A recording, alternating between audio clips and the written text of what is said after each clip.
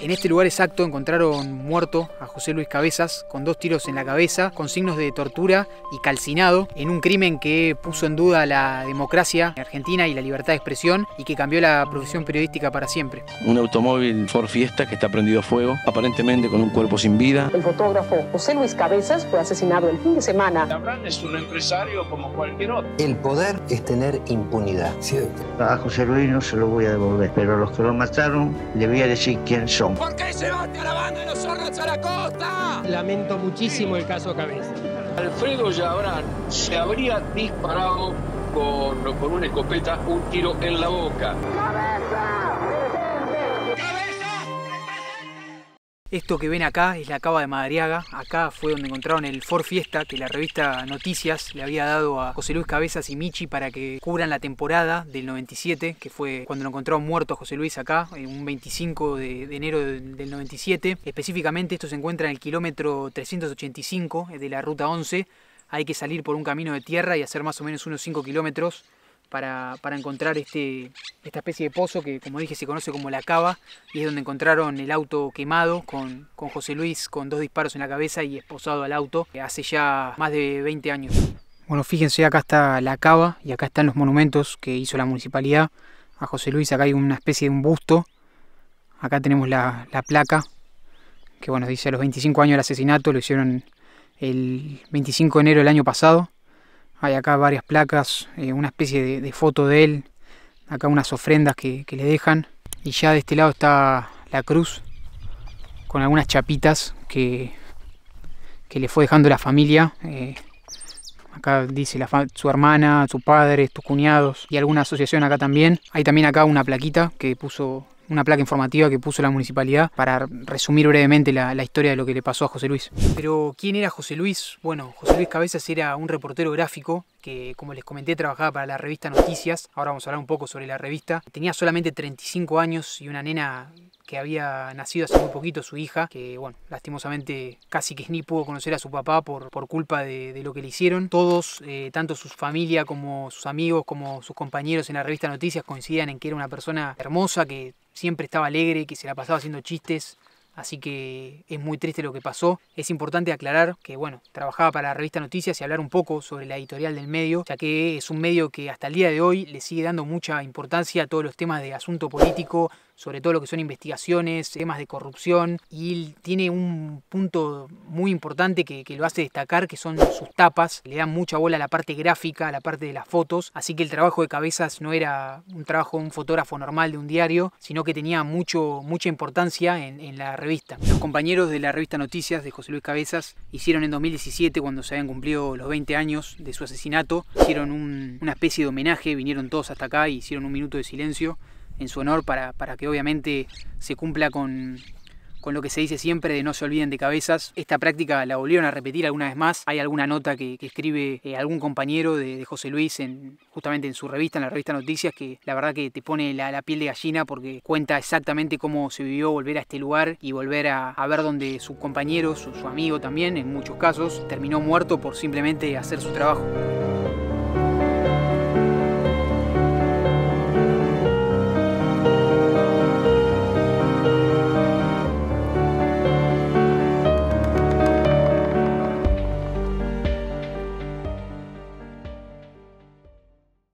Idea de este video es eh, reconstruir un poco Crimen de Cabezas, visitar los lugares, los últimos lugares por donde pasó y donde estuvo, pero primero creo que así como les comenté quién era José Luis Cabezas, es importante saber quién era Alfredo Chabrán, que es otro importante protagonista de, esta, de esta historia. Chabrán era un empresario muy importante argentino y no solamente por la fortuna que tenía, estamos hablando de una fortuna que se piensa y se estima que es de alrededor de 4 mil millones de dólares, lo que lo transformaba en alguien realmente importante es que tenía conexiones con la política y muchos negocios con la política. Se sabe que estos negocios empezaron desde la dictadura militar y que continuaron hasta el gobierno de Carlos Saúl. Para que se den una idea, él manejaba todo un negocio que era el de prácticamente todo lo que entraba al país, eh, se encargaba de él todo. Era dueño de OCA, que era el correo privado, era dueño de Ocasa, que es un cleaning bancario, era dueño del Cadasa, que era un depósito fiscal, dueño de Intercargo, que era la empresa que se encargaba de la carga y descarga de, de los productos de los aviones, y de Interbaires, que básicamente tenía todos los duty free, los free shop de, de Argentina. Más allá de esto, del poder que tenía, era también una figura muy misteriosa en Argentina.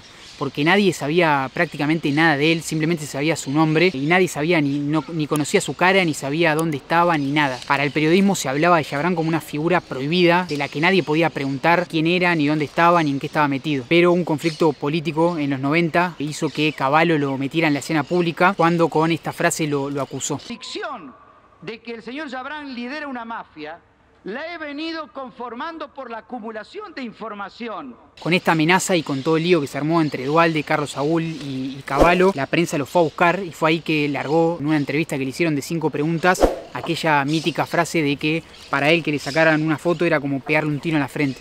Así fue entonces como terminó el año 95 y empezó la temporada de verano. Cabe aclarar que en los 90 Pinamar explotaba, se llenaba de políticos, de famosos, de gente de mucho dinero a, a, disfrutar los plenos 90 donde, bueno, económicamente había gente que estaba muy bien y los periodistas sabían que Chabran iba a venir en algún momento acá a veranear. En Pinamar no se sabía exacto la fecha, pero se sabía que iba a venir. La revista Noticias había venido ya de arranque con una idea que era conseguir esa foto de, de para hacer una nota sobre él. Al equipo de noticias le llegó el rumor de que el tío, que era como le decían a Chabran, iba a llegar a su casa, que es esta que tengo acá llamada Narvay, porque significaba Chabran al revés. Así que tanto Michi como, como Cabezas hicieron guardia acá desde muy temprano, intentando sacar esa foto, que, que, era la que buscaban desde un inicio. La foto que le sacaron fue entrando a la casa, por lo que estaba de espalda, no era suficiente para ellos. Por eso es que, bueno, en base a un dato que tenían del paradero en la playa que iba a estar, no se conformaron con este y siguieron buscando. Esta es la casa Narvay, que hasta hace poquito tenía el cartel, o sea, seguía llamándose igual que, que cuando pasó todo. Sigue perteneciendo a la familia Chabran, la administran sus hijos desde, desde Uruguay, que es donde viven, si bien ellos no la usan, por lo que se sabe, sino que, la alquilan, sigue funcionando y sigue perteneciendo a la familia del ideólogo del asesinato de José Luis Cabezas. Los periodistas sabían que esa foto que le habían sacado de espaldas en la casa no les iba a servir para una tapa, así que se vinieron al balneario donde les habían dicho, acá en la playa de Pinamar, que iba a estar eh, y como si fuese broma se lo cruzaron directamente enfrente de ellos. Eh, se sentó con una reposera enfrente de ellos, ahí va la, famosa foto también que de él en la reposera, pero Cabezas estaba seguro que para la tapa necesitaba una foto de frente de Chabran, así que insistió con quedarse un rato más a ver si lo podía enganchar de frente. Chabran y su mujer en un momento se pararon y se fueron a caminar, y ahí fue cuando Cabezas dijo, si ellos se van a caminar, en algún momento van a tener que pegar la vuelta y ahí los podemos agarrar de frente. Por eso es que lo esperaron unos más o menos 45 minutos y fue ahí cuando Chabran y su mujer llegaron. Obviamente Cabezas no podía dispararle una foto como si nada porque eh, se iba a dar cuenta, así que lo que hizo fue usar a su mujer como modelo. Su mujer que ese día lo había acompañado se puso enfrente e hizo como que le estaba sacando una foto a ella cuando en realidad estaba desenfocando y sacándole la famosa foto que la revista Noticias la usaría con la tapa y la frase de Chabran ataca de nuevo para hablar en una nota sobre los negocios inmobiliarios que estaba haciendo y llevando a cabo el empresario en esos años acá en Pinamar que aparentemente eran un poco, un poco turbios.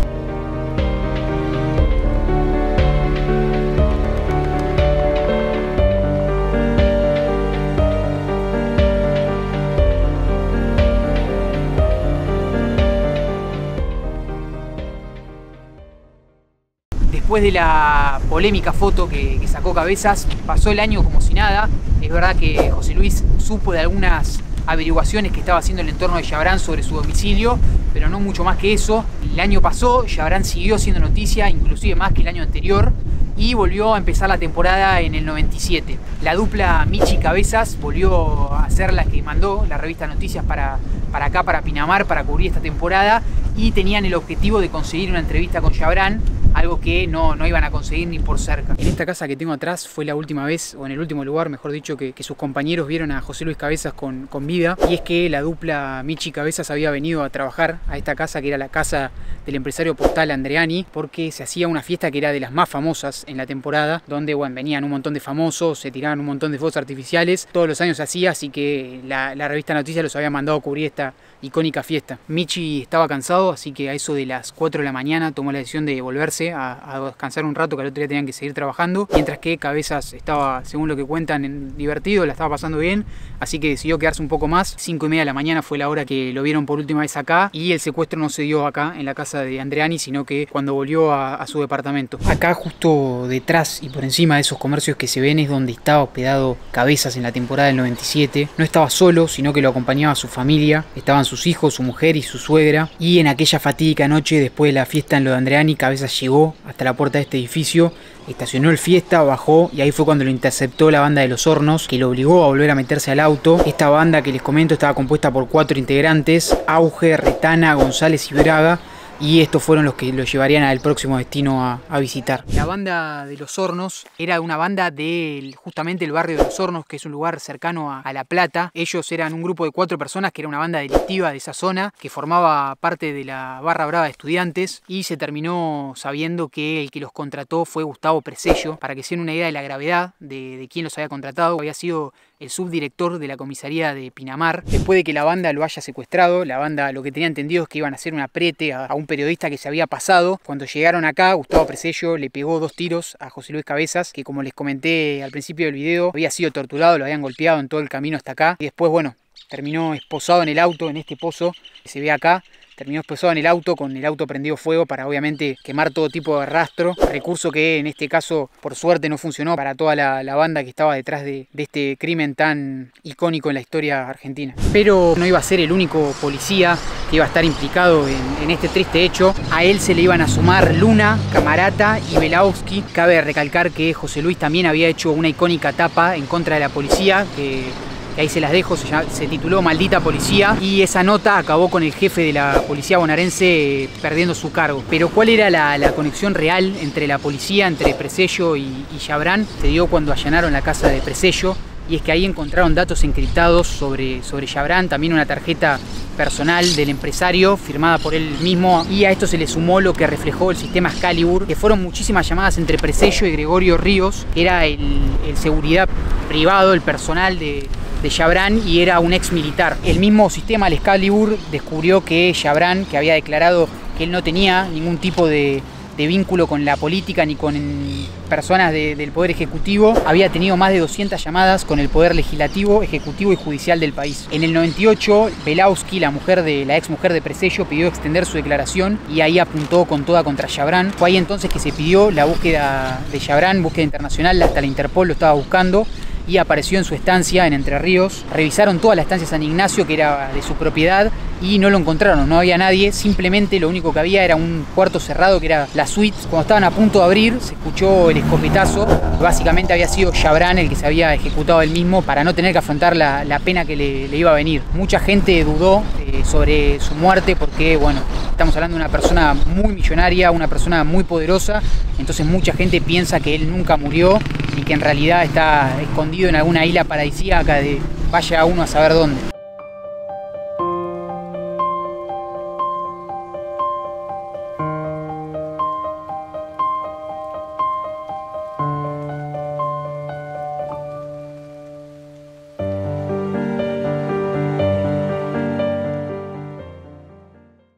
Gente, vamos cerrando el video. Antes de terminar quería contarles un poco cómo quedó la condena. Como saben, bueno, el, ideólogo de todo esto que fue Chabrán se, supuestamente se suicidó, así que no, no tuvo que enfrentar ninguna condena. Todos los demás sí fueron condenados a cadena perpetua, aunque ninguno la cumplió. De hecho, hoy por hoy, salvo los que fallecieron en, en prisión o los que fallecieron en el medio están, están en libertad. Por eso es que hasta el día de hoy se sigue exigiendo por justicia y porque no se olviden de, José Luis Cabezas en un, en un crimen que realmente quedó muy marcado a fuego en todos los argentinos. De hecho, bueno, cuando ocurrió pueden buscar, hay, hay un montón de imágenes de la cantidad de marchas que se hicieron. Tuvo la más icónica que fue cuando dejaron el cajón de José Luis y se fueron al obelisco a hacer el que se conoció después como el camarazo, que levantaron todos la cámara. Fue una imagen y un momento bastante lindo para, para recordar a José Luis. Y esas marchas se replicaron en todo el país. Hay imágenes de, estas marchas en todos lados. Hay una en Mar del Plata donde estaba Diego, Diego Maradona participando de la marcha. Así que como, les comentaba y como se habrán dado cuenta, es un crimen que acá en Argentina quedó muy marcado. Cambió las reglas del juego para, todos. Obviamente a partir de ese momento muchos periodistas empezaron a trabajar con mucho miedo de denunciar este tipo de, empresarios tan fuertes. Pero bueno, vamos a dejar hasta acá el video. Sé que se podría haber ahondado más en algunos temas. La idea del video era hacer un, un repaso por la historia mientras que visitamos los lugares. Pero hay un montón de videos distintos que pueden ir a ver, informes, documentales, bueno, está el de Netflix que es bastante bueno. Espero que les haya gustado, saben que si comentan, le dan me gusta y demás me ayudan. Y nos vemos en la próxima. Chau, chau.